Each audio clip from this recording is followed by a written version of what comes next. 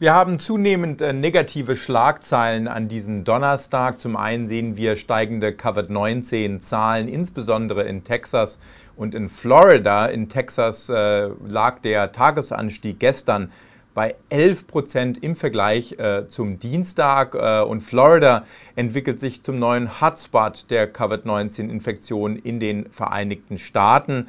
Äh, der zweite Belastungsfaktor sind die äh, zunehmend negativen Schlagzeilen um die Chancen eines Wahlsiegs von Donald Trump im November. Viele hier an der Wall Street meinen, dass dieses Risiko am Aktienmarkt zurzeit nicht ausreichend eingepreist ist. Das Weiße Haus versucht aktuell über das Justizministerium eine Blockade des neuen Buches von John Bolton äh, zu erwirken. John Bolton äh, ist der ehemalige nationale Sicherheitsberater, der von Donald Trump äh, vor einigen Monaten äh, gefeuert wurde.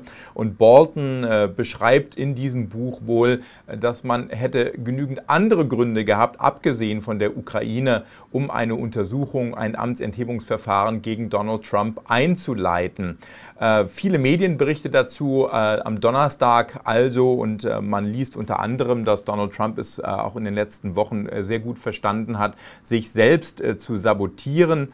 Äh, und äh, von daher also ka kaum erstaunlich, dass in fast allen Wahlumfragen aktuell Joe Biden zwischen 10 und 13 Prozent vor Donald Trump liegt. Der ein oder andere Republikaner, das ist auch zu lesen, hat Bedenken, dass man nicht nur das Weiße Haus verlieren wird, sondern eventuell auch die Mehrheit im Senat. Nun, das ist November, der November ist noch lange hin.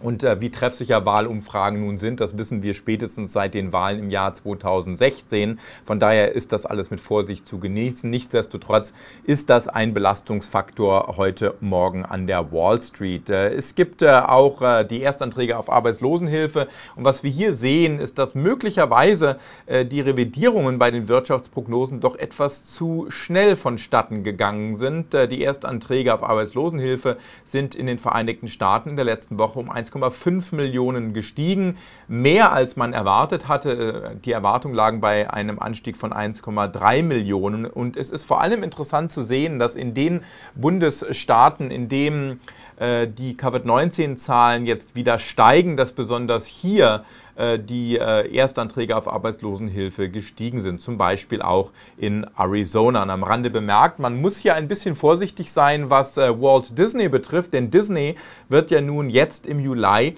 die Erlebnisparks in Florida eröffnen. Noch liest man sehr wenig darüber, aber wenn man bedenkt, dass sich Florida immer mehr zum Hotspot der Covid-19-Neuinfektionen entwickelt, besteht hier eventuell die Gefahr, dass die Erlebnisparks doch nicht eröffnet werden dürfen. Großes Fragezeichen, das sollte man zumindest als Aktionär von Disney im Hinterkopf behalten. Und damit sind wir dann auch schon bei den Einzelwerten angelangt. Äh, vor allem die Sektoren, die sehr stark gelaufen sind, die äh, besonders stark getroffen wurden, auch durch Covid-19, die stehen auch heute wieder an diesem Donnerstag unter Abgabedruck.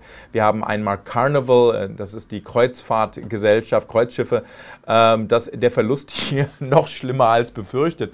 Noch schlimmer als befürchtet. Das ist schon eine Kunst, weil die Erwartungen Erwartungen hier ohnehin schon wirklich im Keller waren. Aber der Keller wird jetzt nochmal zehn Stockwerke tiefer gelegt.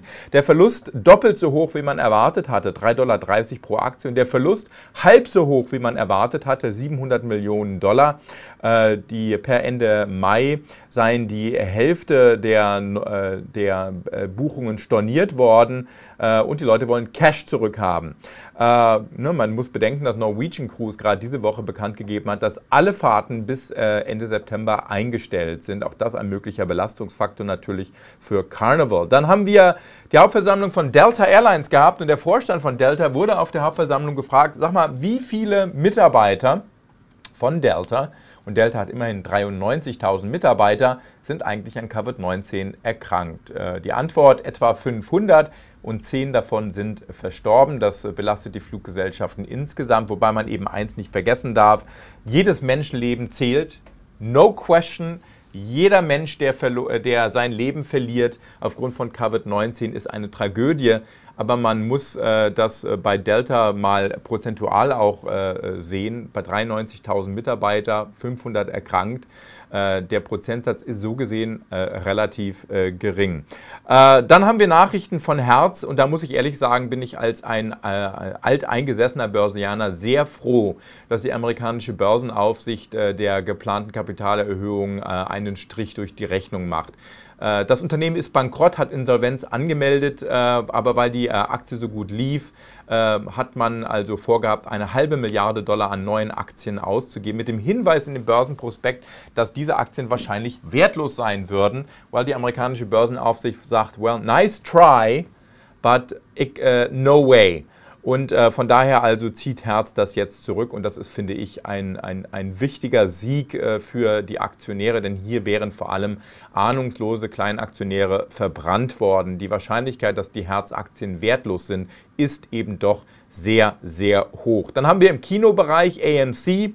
Ähm, hier ist zu lesen im Wall Street Journal, dass ähm, die Verhandlungen mit den Kreditgebern dass einige Kreditgeber hier äh, sich sträuben, die Verbindlichkeiten in Aktien zu wandeln. Ist ja auch logisch, ne? wenn ein Unternehmen Insolvenz anmeldet oder Bankrott anmelden muss, dann werden zuerst die Anleiheinhaber bedient, äh, bevor dann die Aktionäre quasi gesichert sind. Und äh, von daher äh, gibt es hier einiges an Widerstand. Und nochmal, AMC, genauso wie die Kreuzfahrtschiff, äh, Kreuzschiffgesellschaft, mein Gott, ich werde das Wort nie richtig hinkriegen. Kinos sind zu, wann werden sie wieder aufmachen? God knows. Von daher ist das Risiko hier eben auch äh, ausgesprochen äh, groß. Und ähm, ein Punkt noch am Rande und damit möchte ich heute Schluss machen. Wir haben noch einen Faktor, der den Markt äh, zumindest in den nächsten Tagen ziemlich umherwirbeln wird. Und zwar haben wir einen riesigen Optionsverfalltermin anstehen an diesem Freitag. Äh, und um das Ganze mal hier ins Verhältnis zu setzen, die Grafik ist von Goldman Sachs. Äh, äh ich will die Grafik kurz erklären. Das sind also die, die äh, Optionsverfalltermine auf Monatsbasis und wir sehen hier die grau, hellgrau schattierten, das sind die Optionsverfalltermine im Dezember. Der Dezember ist immer sehr groß, äh, was äh, den Termin betrifft. Äh, und der Juni-Termin, äh, Verfallstermin, ist Platz 3 historisch betrachtet vom Volumen her. 1,8 Billionen Dollar an Optionen laufen an diesem Freitag aus auf den SP 500.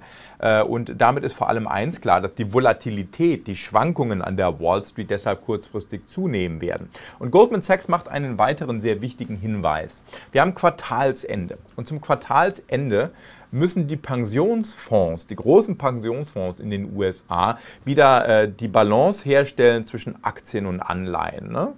Äh, so, wenn Aktien besonders gut laufen, dann wird der Aktienanteil reduziert und der Anleiheanteil wieder ausgeweitet. Und Aktien sind extrem gut gelaufen und Goldman Sachs schätzt, dass amerikanische Pensionsfonds etwa 76 Milliarden Dollar an Aktien auf der Verkaufsseite haben. Äh, und auch das könnte also den Aktienmarkt kurzfristig belasten. Das muss man historisch einordnen. 76 äh, Milliarden, das ist eine ordentliche Hausnummer. Und um genau zu sein, historisch betrachtet ist es die drittgrößte Rebalancierung zu Lastenaktien durch Pensionsfonds, die wir an der Wall Street gesehen haben. Man darf sich also nicht wundern, wenn hier die Wall Street darunter ebenfalls leiden wird.